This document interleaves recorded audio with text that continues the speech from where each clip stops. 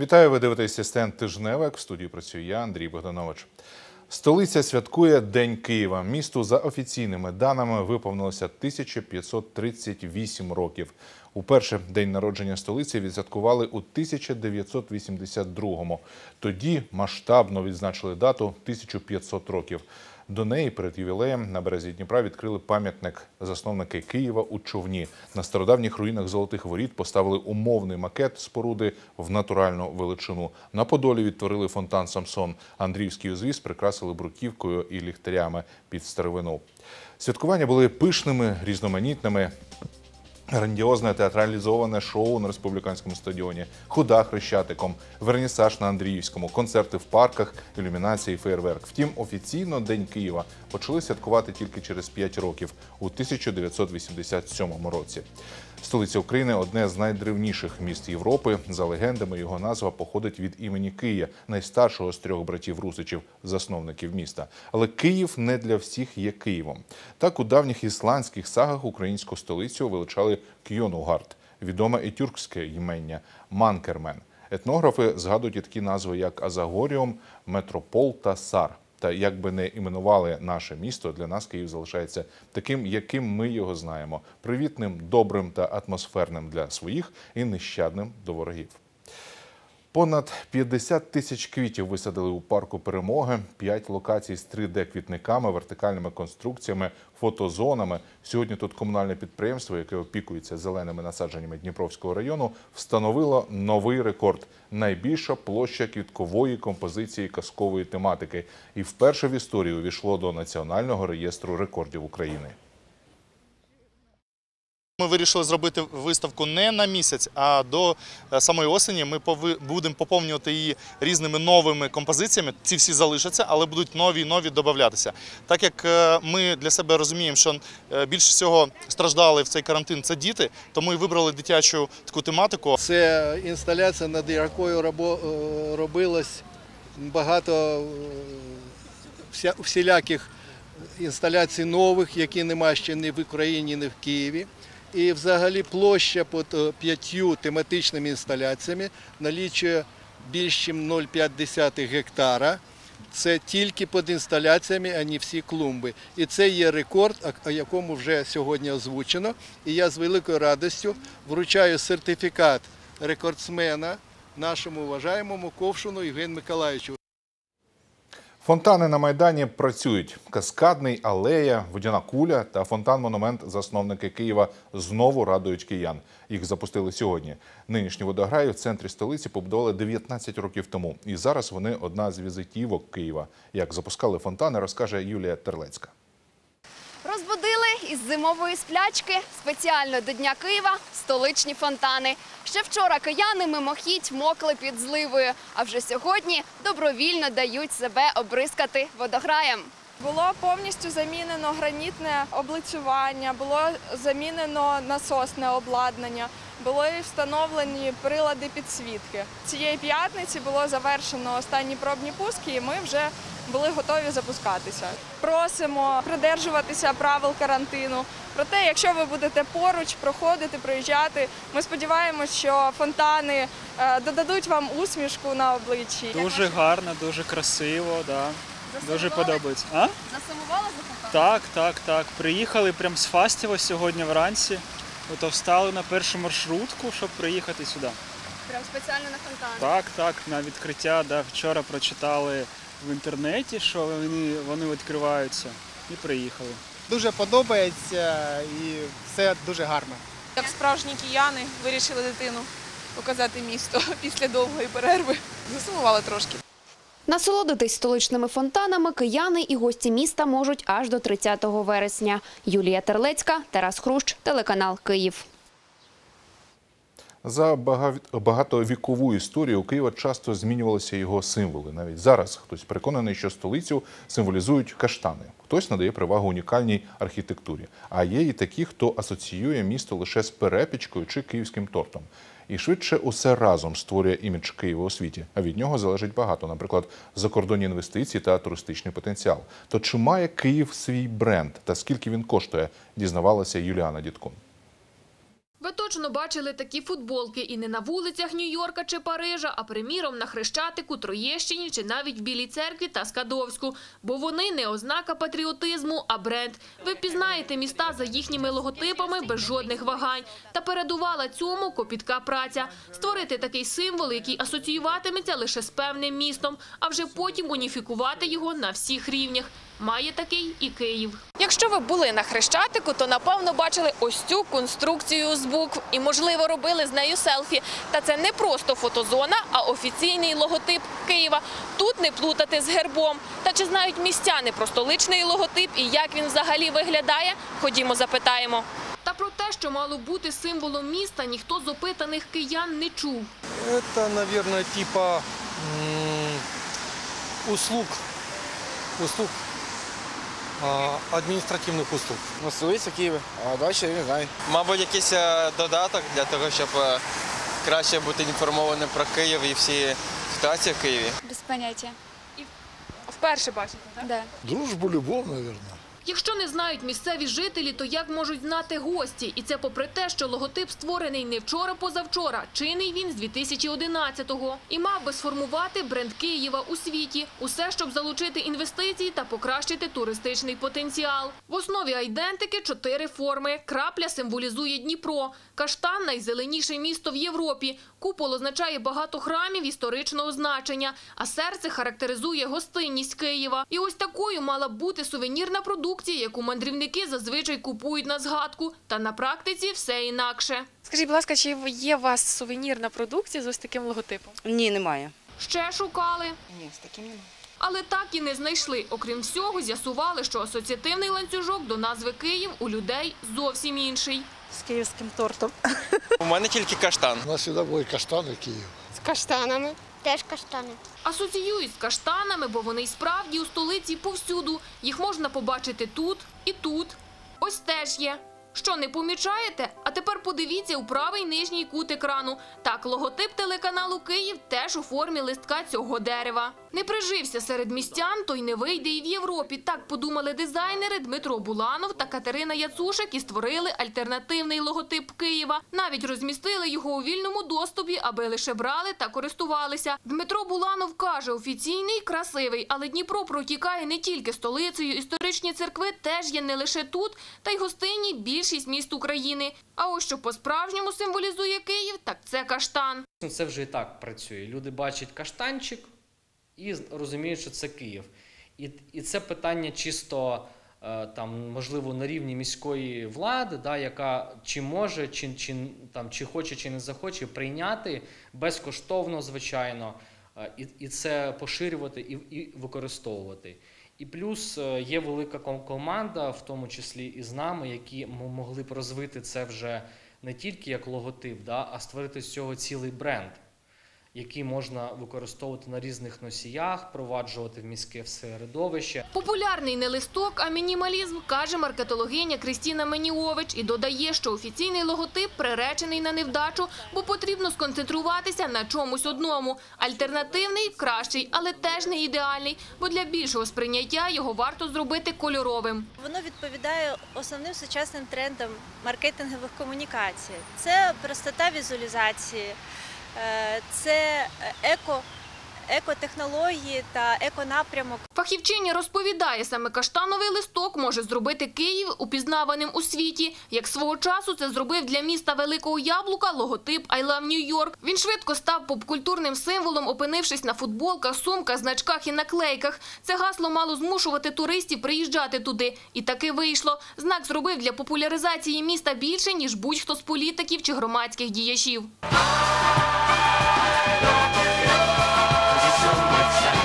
Ціна питання для подібного чимала. Це може коштувати е, мільйони гривень. У гривнях дорого, але для іміджу міста безцінно, адже впливає на інвестиції та кількість туристів. Та впровадження бренду має починатися з самих киян та з почуття патріотизму, кажуть експерти. Бо часто ми захоплюємося іноземним та зневажаємо рідне. Це так, ніби щоб купити петрушку, її слід назвати кінзою. Фета звучить для нас шляхетніше, ніж бринза, а насіння льону не таке принадне, як чія. Привабливість Києва на міжнародній арені зросте тоді, коли й городяни популяризуватимуть місцеве. І не тому, що своє та рідне, а через те, що досконале. Юліана Дідкун, Олег Мартинюк, Едуард Таравський, телеканал Київ. У Києві відбувся щорічний доброчинний пробіг під каштанами. Через обмеження цьогоріч його провели в онлайн-форматі. Дистанцію в 5 кілометрів подолали 10 киян. Їх організатори обрали амбасадорами столиці. Це міський голова Віталій Кличко, міністр молоді та спорту Вадим Гудсайд, лікар центру дитячої кардіології та кардіохірургії Володимир Жовнір, ветеран АТО Віктор Шевченко, представник збірної команди ігор нескорених Максим Єрмохін, призерка Олімпійських ігор з легкої атлетики Христина Струй, переможниця першого пробігу під каштанами Наталія Лєбідєва та представниця найчисленнішої корпоративної команди Наталія Гуріна. Стартували від пам'ятника засновника міста і фінішували на поштовій площі біля скульптурної композиції малюків, що пускають кораблики. Канал Київ транслював пробіг наживо. Марафон тривав 35 хвилин. За цей час зареєструвалося понад 3700 учасників. Організатори зібрали майже 400 тисяч гривень для центра дитячої кардіології та кардіохірургії МОЗ. Утім, внесок 100 гривень можна зробити і після закінчення заходу.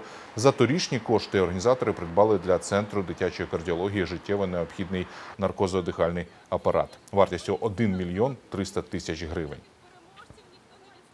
Вкрай важливо підтримати дітей в першу чергу. І сьогодні ми біжимо не на результат, сьогодні- ми біжимо е, не для призів, там медалі і всього іншого. Ми е, підтримуємо дітей і говоримо те, що Київ не зупиняється не на хвилинку в своєму розвитку. Для нас дуже приємно, що ми живемо в Києві, що ми розвиваємо наше місто і що місто з кожним роком становиться що спортивні. Багато людей починають займатися спортом, багато вже займаються. І саме головне, що наші діти бачать нас і беруть приклад з нас і теж починають займатися спортом. Із днем народження рідного міста киян привітав міський голова Віталій Кличко. Мер опублікував кадри, на яких відому пісню про Київ наспівує комунальник, водій швидкої, матуся з немовлям, кермувальник трамваю та інше. А наприкінці відео до привітань долучився голівудський актор Арнольд Шварценеггер. Як тебе не любити, Києве мій? Як тебе не любити, Київ мій? Як тебе не любити, Києве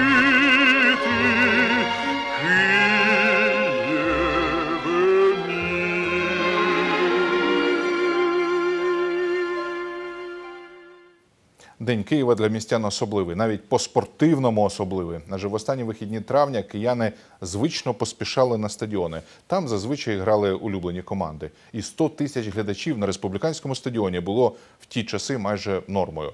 На кого ж так ходили кияни? Ця розповідь про п'ять київських збірних, що приписали історію спорту. Далі Роман Сагай.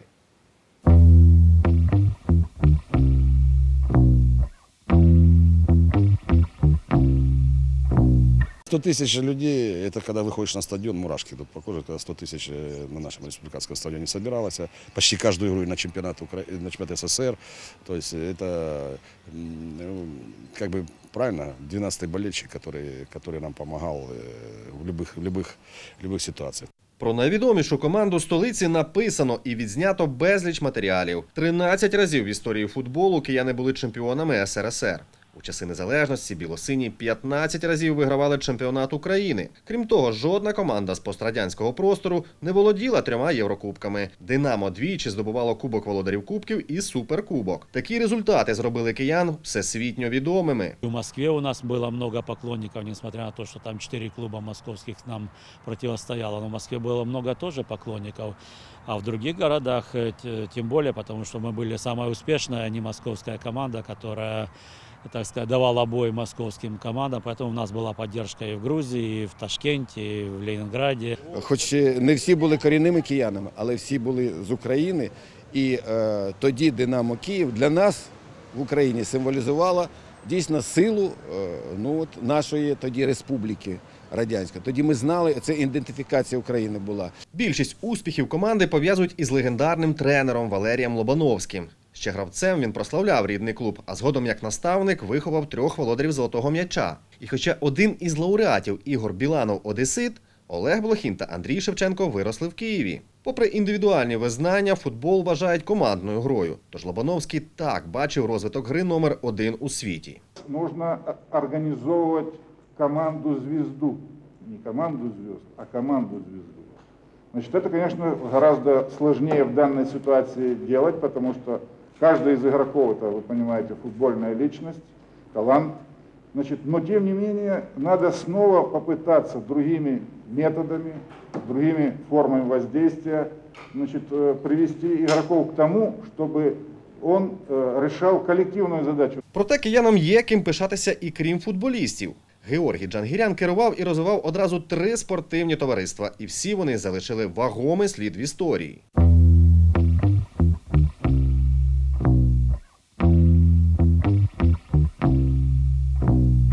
Регбійний клуб Авіатор з'явився на спортивній мапі у 1963 році. Його заснували на базі Інституту цивільної авіації, куди на навчання вступив і юний Георгій Джангірян. З 1968 по 1990 роки київські регбісти були незмінними чемпіонами України. А в 1978-му авіатор виграв чемпіонат СРСР. Успіх київського регбі клуб закріпив наступного року, коли Кубок Радянського Союзу у фіналі розіграли команди з Києва Авіатор і Політехнік. У нас очень было много на Украине команд. Э, Это где-то ну, 3-4 раза больше, чем сейчас.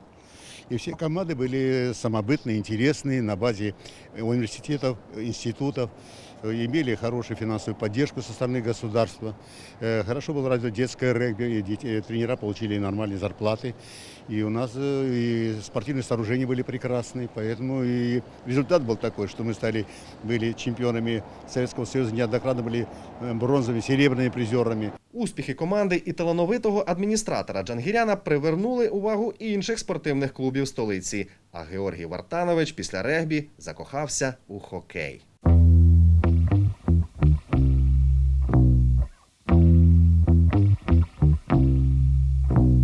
Клуб Сокіл з'явився у 1963-му. До найвищого союзного досягнення київську хокейну команду привів Анатолій Богданов, який очолював її 15 сезонів. У період з 1976 по 1991 роки під керівництвом Богданова кияни не тільки виграли бронзу, а й шість разів входили в п'ятірку найкращих клубів СРСР, двічі фінішувавши четвертими. То есть это, так сказать, лучшие годы жизни, которые прошли вот в такие тяжелые, потому что нужно было эту команду строить. Поставили себе сразу такое условие, что мы не будем брать звезд отработанных э, в Москве, а будем, ну или э, тех игроков, которые думают, что они звезды, но не пригодились в Москве, а в основном ребят таких, сказать, голодных из Сибири, из с Урала, и которых, в общем-то, для которых и Киев вообще возможность играть э, в высшей лиге, мы- потому что достаточно быстро мы через год вышли в высшую лигу, и сам по себе город, поэтому сюда нам было как-то легче, что ли, игроков завести. За часи незалежності Соколята 12 разів виграли внутрішній чемпіонат. Вихованці київського клубу Валерій Ширяєв, Михайло Татарінов та Дмитро Христич, граючи за збірну СРСР, ставали чемпіонами світу. Киянин Олексій Житнік у складі збірної Росії вигравав Олімпійські ігри. Нині від Сокола залишилися лише слава та дитяча школа, яка бореться з рейдерами за виживання. Цікаво, що в палаці спорту приймала ігри ще одна легендарна київська команда, яка своїми успіхами також завдячує Джангіряну.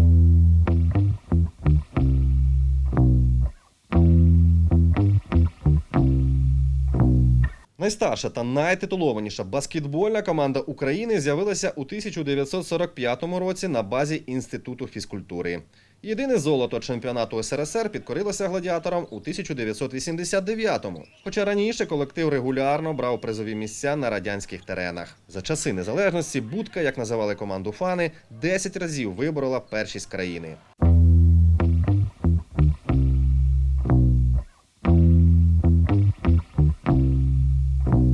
Цю емблему футбольні вболівальники ненавиділи, а гандбольні боготворили. І було за що. Гандбольний клуб Спартак Київ за досягнення внесли до книги рекордів Гіннеса. Киянки 20 разів одягали чемпіонські медалі СРСР, а їхні успіхи у найпрестижнішому турнірі Європи досі недосяжні. Мы стали чемпионками Советского Союза, и отсюда пошла эпопея 20 лет подряд Потом первый кубок европейских чемпионов. Это то, что наши футболисты, к сожалению, никак не могут в четверть, выйти из четвертьфинала. Вот. А мы 13 раз Кубок Европы привозили в Киев. З'явився клуб за рік до авіатора і Сокола в 1962-му. Випускник Кам'янсько-Подільського пединституту Ігор Турчин за розподілом опинився в Києві. Тут йому запропонували попрацювати тренером з гандболу. Одного разу в пошуках гравців він прийшов у школу, де навчалися Зінаїда Столітенко та Галина Маноха. Захопившись новою грою, дівчата привели своїх подруг. Так розпочалася золота ера київського гандболу. Он всегда говорил, какой ты на площадке, такой ты в жизни. А если ты в жизни, понимаете, сопля, значит и на площадке ты такой. Это все формировалось на площадке. И вот то, что мы сегодняшний день, те, которые ушли уже много лет со «Спартака», мы сейчас еще держимся, крепимся и что-то делаем, это только благодаря ему, потому что он нас научил быть профессионалами в любом деле. Мы когда приходили, мы не могли иначе играть, потому что нам так люди к нам приходили, нас хотели видеть именно действительно красивую, технически, тактическую, красивую команду. И мы не могли подвести их. И мы делали все для того, чтобы зал, дворец спорта, всегда, вы знаете, был полон. Успіх дівчат Турчина тривалий і в збірні СРСР. Жіноча команда, очолювана Ігорем Турчиним, двічі вигравала Олімпійські ігри в 1976 і 1980 роках. Була бронзовим призером Олімпіади в Сеулі, а ще двічі була на вершині чемпіонатів світу. Хто зна, може саме ці дівчата надихнули Гаріка Кричевського на відому пісню. Роман Сагай, Руслан Свірін, Олександр Даниленко, телеканал Київ. І сьогодні теж футбольний день у місті. Спортивна легенда столиці Київський Динамо грає з іншою футбольною легендою Донецьким Шахтарем. І гірники виступають сьогодні номінальними господарями зустрічі.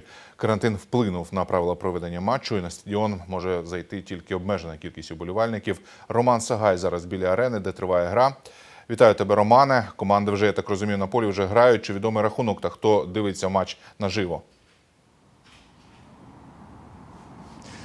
Вітаю Андрія, вітаю всіх телеглядачів телеканалу Київ, а також у тих, хто святкує 1538 років е, з дня народження найкращого міста світу.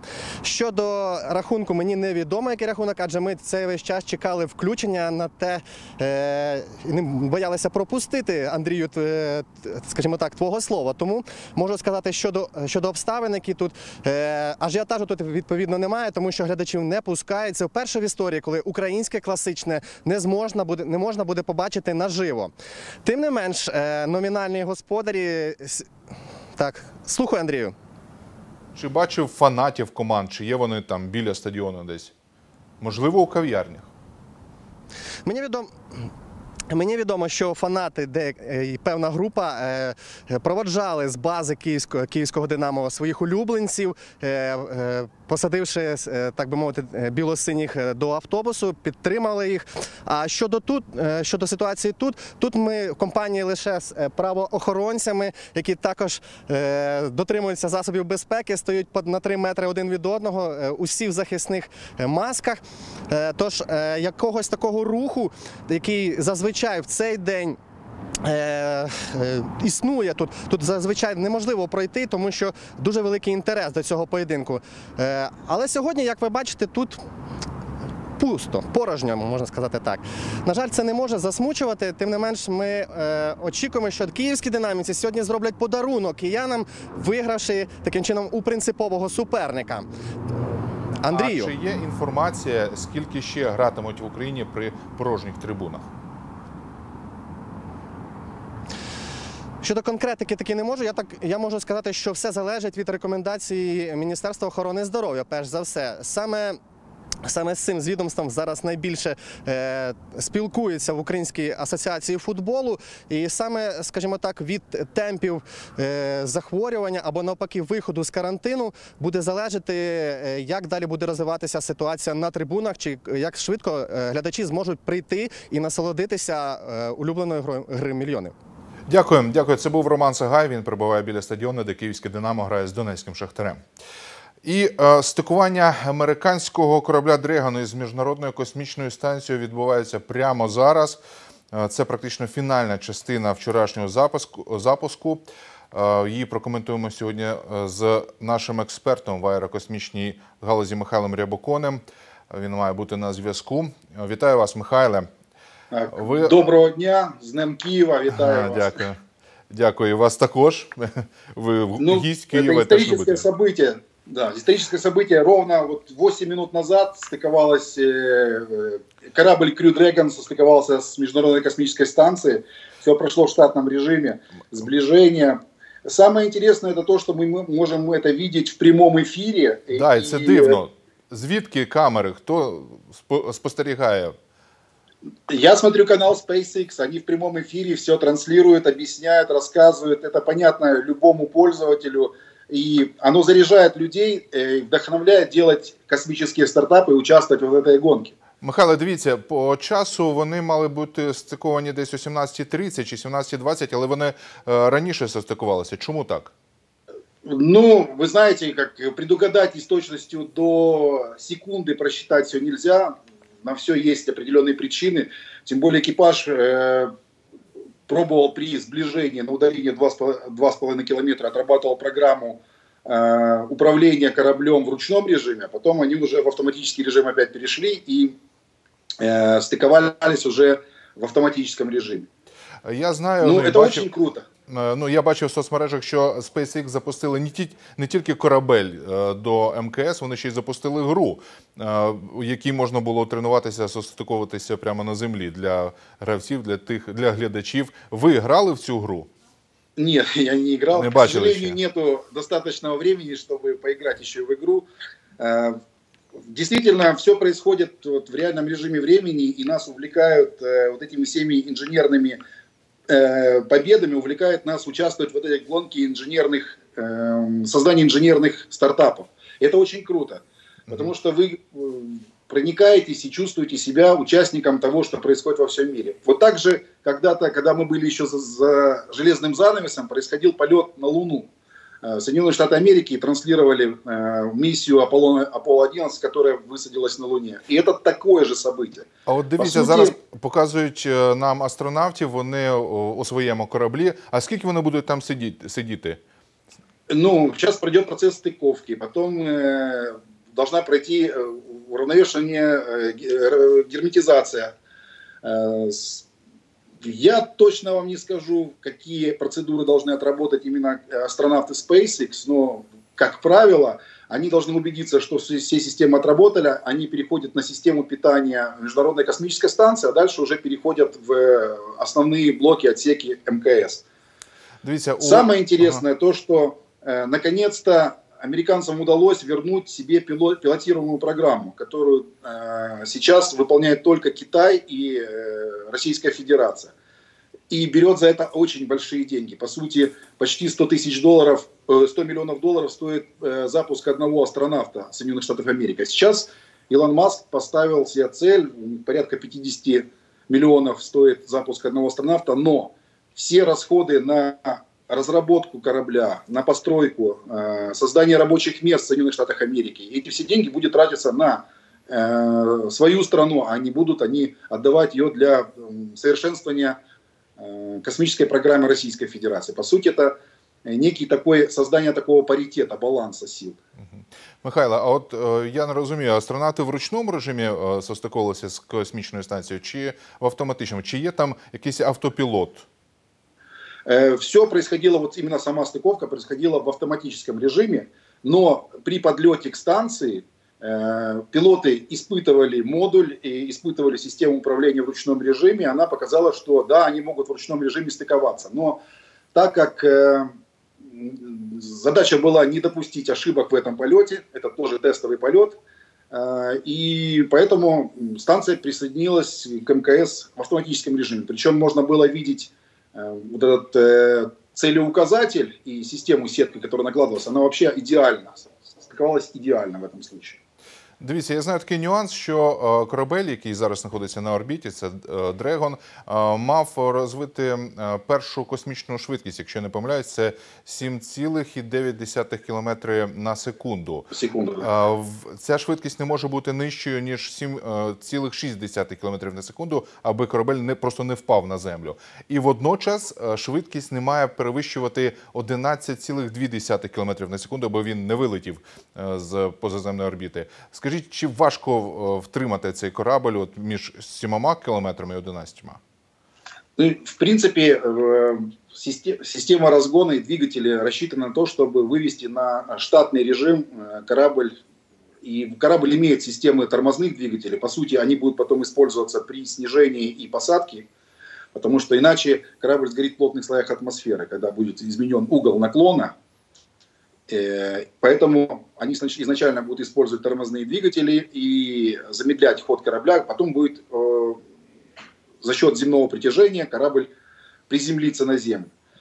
Э, Здесь очень много интересных моментов отработано. По сути, американцы э, сделали свои плазменные электрические двигатели, которые управляют кораблем. На данный момент э, самой э, Международной космической станции управляют плазменные двигатели, сделанные в России. А, Мы можем проговорить, где Украина могла бы принять участие. У нас очень сильная школа в Харькове и в Днепре, которая занималась плазменными электрич- электрическими двигателями. И, по сути, а, постройка эт- этих двигателей и эм, поставка их на, для вот этих международных космических программ, это могла быть и за одним из э, тех мест, где Украина могла бы принять участие. Э, Ну, Ну, а що, е, що не вистачає? Тому що у нас є Sea Launch, наприклад, ну, програма. Он был, его же выкупил S7, российская компания. И он был не наш, он был Боинга.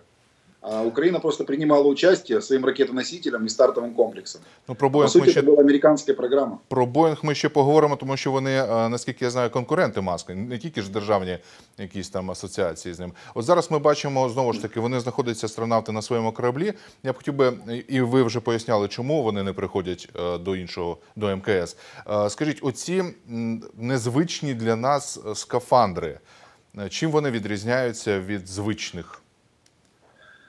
Ну, если вы смотрели интервью Илона э, перед стартом, он сказал, что э, посмотрев много фильмов э, о космосе, захотелось сделать нечто приятное глазу человека. Во-первых, оно должно быть очень удобным, а во-вторых, должно быть очень красивым.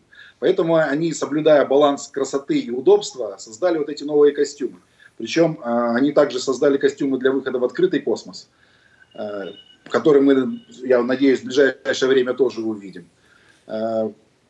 Здесь, э, вот в, этой, э, в этом полете тестовом, было протестировано много интересных фишек. По сути, они 19 часов сближались, они успели попробовать, как спать в этом корабле, э, как проводить время, удобно, неудобно система управления корабля, насколько адекватно реагируют на команды пилотов. И сами пилоты, они же, понимаете, они же сидели три с половиной часа до старта, и во время старта находиться в одном и том же положении и Ну, потім ми бачили, що вони літали по кораблю. Е, Да, Скажіть, да. ну є е, такі е, приколи практично про гумові чоботи е, астронавтів. Вони ж вийшли в чоботах звичайних, я так розумію, наскільки я читав. Е, Це теж, я так розумію, буде тепер якимось трендом, брендом, модою. Э, Скорее всего, да. Здесь э, тренд, мода задается каждый день. По сути, появление вот 3D принтер появился. э, Начали, начали с чего? Начали с печати определенных э, каких-то вещей интересных. Потом э, перешли к печати ракетных двигателей, а потом, а сейчас уже печатают ткани и практически научились печатать органы. И я думаю, также и с модой, то есть новые тренды в одежде перейдут и в обычную моду. Дивіться, Михайло, я, я помітив, що апаратура на кораблі, в, е, наприклад, якщо порівнювати Аполло чи там міс... е, в- ну, ті кораблі, які літали на місяць, апарати, і зараз то з'явилися сенсорні екрани. А чи це безпечно? Якщо воно відмовить, то чим де ті важелі, якими можна е, керувати кораблем? Э, Ну, дело в том, что даже те, которые были в э, Аполло, это были системы, которые вы же не напрямую э, управляли кораблем, это по, су- по сути через э, электромеханическую передачу систем управления вы передавали эти усилия или команды на другие блоки. По сути, как работает и автоматическая коробка передач. То есть вы не включаете напрямую э, зубчатую пару для того, чтобы соединить и передать крутящий момент от двигателя к колесам. Это делает машина э, автоматически, ну то есть используя муфты. То же самое э, показал Илон Маск со своим автопилотом. По сути, э, автомобиль, который движется в потоке машин, где куча всяких моментов, которые нельзя предсказать, и как, по- и как показывает, что э, за последние три года отработки автопилота, который используется на Тесле, э, была снижена аварийность в разы. А здесь у вас гораздо меньше э, вещей, которые могут влиять на э, траекторию полета, э, и меньше возможных вариантов э, аварийных ситуаций, поэтому автопилот работает намного проще. А в систему управления мы видим сенсорные системы переходят сейчас и в автомобилестроение. Современные автомобили, как правило, уже не используют механические датчики, показывают там давление масла или там э, спидометр. Это все сенсорные экраны, которые элементарно работают в руках от и ребенка, и взрослого человека. Мгм. Ну, от Технології гаразд, йдуть вперед. Да. е, Михайло, от гаразд, злетіли вони, полетіли, е, состикувалися, це добре. А як будуть приземлятися астронавти? Ну, SpaceX отработала уже этот вопрос в беспилотном режиме. Э, То есть э, отработали систему торможения, э, вышли на заданную траекторию приземления и так, чтобы приземлиться в районе э, там, где смогут аварийные службы подобрать экипаж, э, спускается до высоты, э, по-моему, 5 километров. Дальше открывается первая парашютная система, вторая парашютная система и опускается, приводняется корабль на воду и его подбирают военно- военно-морские силы. Я Мгм. думаю, также будет в штатном режиме и это сделано. Мгм. А хто, крім Маска, має такі самі успіхи в освоєнню космосу? Чи є у американського винахідника конкуренти, крім держав, і крім там Боїнгу? Чи давайте поговоримо про Боїнг, на, як- на якій Ну, він ну, стадії? ну, да, нельзя сравнивать, например, НАСА с э, э, Маском, со SpaceX, потому что они все работают в едином ключе. По сути, смотрите, э, он взял на себя систему разработки, производства ракет-носителя. НАСА получает, не тратит денег на R&D, на то, чтобы исследования провести, тесты, а это все делает частная компания э, за счет частных инвесторов, которые вкладывают деньги. Но, естественно, заказчиком основным является государство, которое потом по э, факту выполнения этих работ будет оплачивать ему вознаграждение. Естественно, от этого выигрывают все. Э, Илон Маск часть средств пускает на R&D, разработку новых систем, новых двигателей и, возможно, осуществляет свою мечту полета на Марс. А Соединенные Штаты получают пилот, пилотируемую программу, которую используют в своих целях. По сути, это вот э, так же, как происходит на рынке военном, когда э, в Америке же нет Укроборонпрома. Э, там есть частные компании, танки делает э, General Motors, э, самолеты делает Lockheed Martin, Boeing и другие военные, я имею в виду. Поэтому э, есть э, возможность государства выбрать то лучшее, которое могут ему представить частные компании. Ну, Михайло, Возможно, а в мене інше питання тоді. Ми зараз бачимо е, двох ведучих цього шоу. А е, це ж е, ну, запуск виявився не просто там експериментом, а це шоу, с- наукове шоу. І я дивлюся на їх емблеми. Я розумію, що це вже торгові марки. е, Торговельні марки. Е, От скажіть, е, хто виграє більше від такого запуску? SpaceX чи NASA? В грошах. Ну, естественно, SpaceX выиграет больше, потому что NASA уже давно э, откатанный бренд. У них есть э, свои победы, полеты на Луну успешные, э, несколько миссий, э, высадка зондов на Марс. Но при этом SpaceX показывает себя, потому что это пионер в этой области. Это стартап, который с 2002 года только начал свою гонку и искать место под Солнцем. В автомобилестроении Маск достиг э, достаточно больших успехов. Теперь э, в космосе после э, Фальконов Heavy, Фальконов 9 э, тоже достиг определенной веса. И теперь многие рассматривают его действительно как кон- конкурента, потому что Боинг изначально вообще не обращал внимания на успехи SpaceX и не воспринимал всерьез э, молодого инженера, э, э, иностранца, по сути, который э, задает тренды космической программе. Ну, не Соединенных тільки ж Штатов Боїнг, і в російські в, е, політики його зовсім не сприймали. А, скажіть, от крім того, е, Маск, го- крім цього всього, е, Маск говорив про свій намір е, направити на Марс через 30 років мільйон людей. Це в 2050 рок- році. Чи це можливо? Это сложный вопрос. Я не думаю, что мы сейчас обладаем теми технологиями, которым позволят безопасно отправлять людей э, к далеким планетам, в том числе и на Марс. И технологии, которые позволят э, выжить там э, и долгое время суще- существовать там человеку. Хотя предпосылки к этому есть. Я думаю, все равно у нас произойдет революционный всплеск, и мы найдем ту двигательную установку или ту систему, новую какую-то энергетику, которая позволит за короткое время быстро переместить из точки А в точку Б человека безопасно для его здоровья, для его жизни и позволит выполнить эту задачу. Но современными технологиями это, конечно, очень тяжело сделать. Хотя, в принципе, возможно. но миллионы людей отправить туда пока нереально. Это выглядит немного как э, сказка. Но, как мы знаем, что любая сказка потом становится былью. Э, Гиперборолик инженера Гарина сначала был в романе «Продавец воздуха», а потом уже появился вживую, поэтому вот мы видим, как рождается из сказки Ну, Маск настоящий. практично революціонер не тільки ж е, в науці, а ще й в кіно, тому що за допомогою SpaceX і Дрегона, я так розумію, будуть знімати е, фільм за участі Тома Круза. І це буде перша Да. кінострічка, знята поза землею. Е, Скажіть, скільки років знадобиться для польоту на Марс, хоча б пробного? Э, Ну, я думаю, что вот в этом десятилетии до 30-го года точно он состоится. Потому Дякую. что все, да, мы видим, как быстро развиваются технологии. Буквально Я б хотів, щоб ми з вами побачили цю історію. У нас на зв'язку був Михайло Рібаконь, експерт із аерокосмічної галузі. Ми говорили про стиковку і про успіхи Ілона Маска і всього людства у космосі. Корабель SpaceX Ілона Маск успішно стикувався з міжнародною космічною станцією. Ми це вже побачили. Та доправив туди двох американських астронавтів. Політ і стикування наживо транслює зараз НАСА. Тепер астронавти Роберт Бенкен і Дуглас Гарлі мають прийти з борту на МКС, де проведуть від 30 до 119 діб.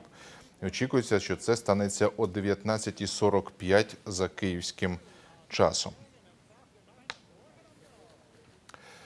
Отже, це можна назвати космічною революцією. в першій історії приватна компанія SpaceX у співпраці з НАСА відправила у небо двох американських астронавтів. Ракета Falcon 9 із корабелем успішно стартувала з майданчика космічного центру НАСА на мисі Канаверал у Флориді. Перша ступінь корабля успішно повернулася через 9 хвилин після запуску і приземлилась на роботизовану платформу в океані. Друга ступінь відділилася на 12-й хвилині після запуску. Апарат вийшов на орбіту та рухається номінальною траєкторією, рухався вже практично. І ми бачили вже, як він состикувався. О 19.45, повторюсь, ми повинні побачити, коли Дуглас Гарлі та Роберт Бенкен перейдуть з борту корабля на МКС. Я загалом оптиміст і оптиміст у постановці задач. Є у мене таке бажання, щоб ми здійснили політ до місяця через два роки. Але це може бути і через чотири. Я сподіваюся, що це перший крок до нашої космічної подорожі до Марсу. А у Києві спалах коронавірусу захворіла 81 людина, 11 з них медики. Про це повідомив міський голова Віталій Кличко у своєму телеграм-каналі. На сьогодні в столиці 2985 інфікувач COVID-19. За добу одужали 11 людей. Усього вилікувалося від коронавірусу за час пандемії 648 киян. Найбільше заражень зафіксували в Дніпровському районі 25, у Деснянському та Дарницькому по 14. І від завтра в Україні черговий етап послаблення карантину. Відновлять міжобласне сполучення всіма видами транспорту. Також запрацюють спортивні зали, фітнес-центри та басейни. У МОЗі нагадали про встановлені правила щодо користування цими закладами. Зокрема, співробітники мають бути в масках або респіраторах. На вході повинні перевіряти температуру. Якщо 37 і вище, то до спортивних занять не допускатимуть. На 10 квадратних метрах має перебувати одна людина. Обмеження щодо кількості відвідувачів стосуються і доріжок біля басейнів. На період карантину е, забороняється при цьому в фітнес-центрах е, використання багаторазових рушників.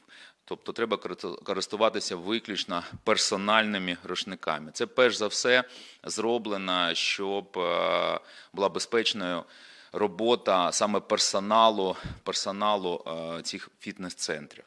Також е, забороняється функціонування спа-зон та надання послуг масажу.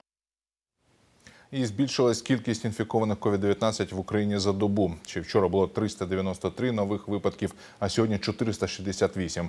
З них 12 дітей та 67 медиків. 12 пацієнтів померли, 227 побороли вірус. Найбільше заражених від учора виявили у Києві, у Чернівецькій та Харківській областях. Всього за час пандемії коронавірус підтвердили у 23 тисяч 672 українців. Одужило 9,5 тисяч інфікованих. І новий коронавірусний антирекорд у світі. За офіційною статистикою, кількість інфікованих COVID-19 на сьогодні сягнула 6 мільйонів. Рекордне і число добових заражень. Найшвидше новий штам вірусу поширюється в Бразилії. Там зафіксовано 30 тисяч 102 випадки захворювання. В Сполучених Штатах 23 тисячі 290, в Росії майже 9 тисяч. Далі у переліку Індія, Перу, Чилі, Мексика, Пакистан, Катар, Іран та інші. Серед країн, де найвищі показники інфікованих COVID узагалі, на першому місці США, далі Бразилія, Росія, Великобританія та Іспанія. Україна на 35-му місці у світі. Такі дані університету Джона Гопкінса там слідкують онлайн за поширенням коронавірусу у світі. Півмільйона заражених та майже 30 тисяч померлих. Це не про Китай, Італію чи Сполучені Штати Америки. Бразилія увірвалася в список лідерів у світі за кількістю хворих на COVID-19. Чому в латиноамериканській країні так стрімко розповсюджується інфекція? Досліджувала Катерина Бенько. Братські могили та переповнені лікарні без медикаментів. Напередодні кількість померлих від коронавірусу в Бразилії зросла настільки, що країна увійшла до п'ятірки з найбільшими показниками жертв COVID-19. Такі дані Центру системних досліджень при університеті Джонса Гопкінса. Це найбільший цвинтар у Латинській Америці Віла Фармоза. Тут ховають найбідніших, без друзів та родичів, інших в присутності невеликих груп. Найбільший спалах коронавірусу в Сан-Пауло. Однак губернатор штату Жоау Дорія допускає, що вже з 1 червня можна буде пом'якшити карантин. Ми будемо щодня стежити за розвитком подій, аналізувати наукові та медичні дані. І якщо виникне потреба зробити крок назад і знову запровадити обмеження, ми без жодних вагань ухвалимо таке рішення. Лідери за кількістю інфікованих Ріо-де-Жанейро, де понад 50 тисяч хворих, та північний штат Амазонас, де заразилося більше як 40 тисяч людей. Крім того, в Бразилії не вистачає тестів на коронавірус, а також бракує достовірної інформації про поширення інфекції в найбідніших регіонах країни. Найнебезпечніша пандемія для корінних народів, які живуть у віддалених районах. У них немає доступу до кваліфікованої медичної допомоги. Лікарні переповнені, пацієнти лежать в коридорах. А коли на дворі дощить, вода крапає прямо на ліжка. Люди такі безпомічні, що поява репортерів національного каналу для них ціла подія. Можливість показати всій країні, що насправді тут відбувається. Ось цей тренажерний зал перетворили в польовий шпиталь для 300 пацієнтів. Це жахливо, і це не жарти. Я дотримувалась усіх порад, але все одно захворіла.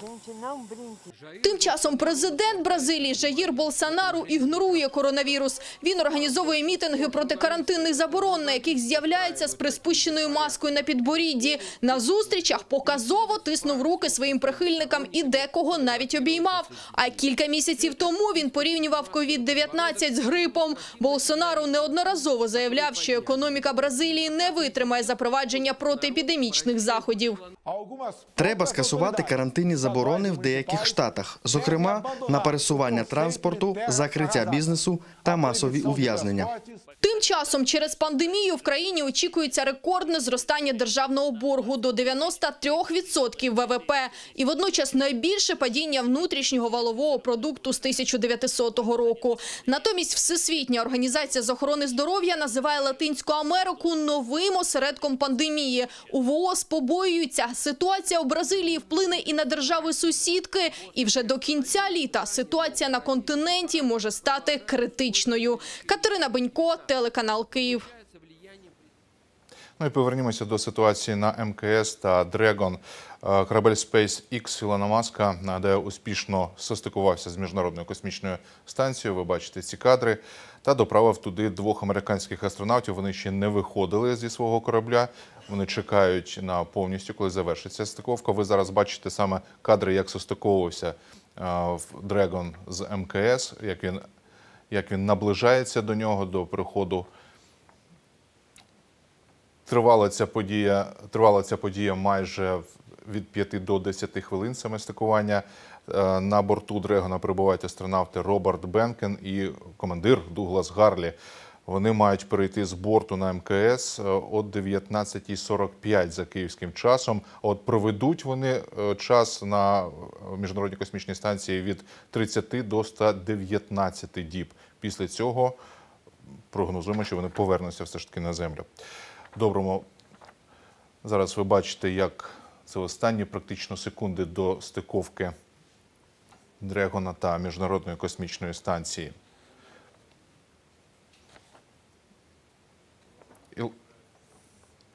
Ілон Маск е, після цієї експедиції е, намагатиметься підкорити Марс та місяць. Про це він вже сказав на прес-конференції. Е, Один раз відкладали старт Dragon X через Crew Dragon через погодні умови, але вчора все вдалося. І сьогодні вже прийшла состиковка. Ми бачимо зараз МКС і корабель Dragon.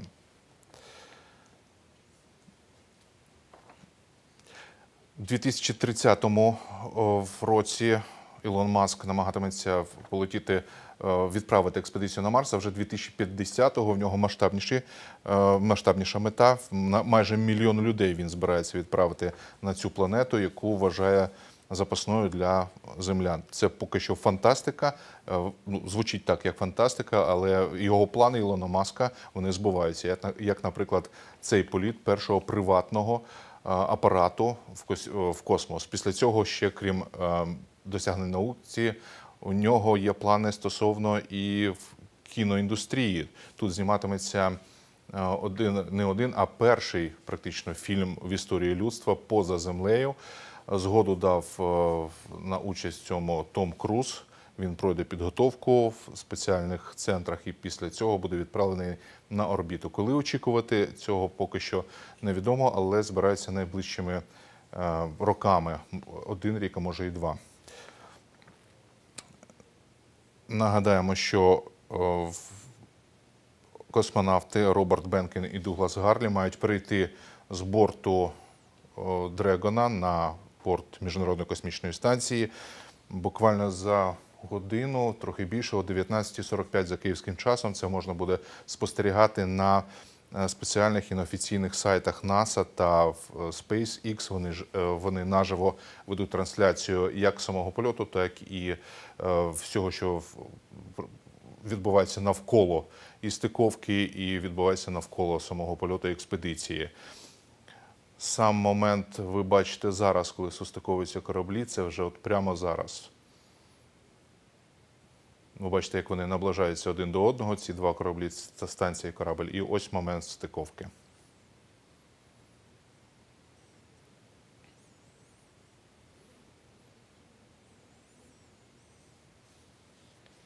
І ще раз нагадаю, перехід космонавтів, астронавтів має відбутися о 19.45 за київським часом.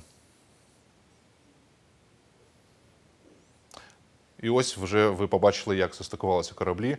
Вони нерухомі і вони є єдиним цілим практично. Дякую. І це все. І це все на зараз. В студії працював Андрій Воданович. З Днем міста і до зустрічі.